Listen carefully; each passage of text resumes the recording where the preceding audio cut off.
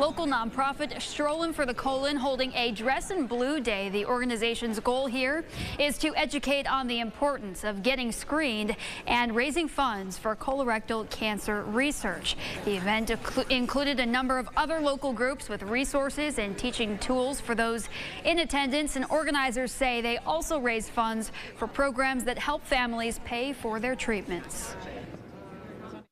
I lost my wife to uh, uh, colon cancer a number of years ago, and um, decided that I needed to get involved to help to, uh, people to understand the importance of early uh, screening.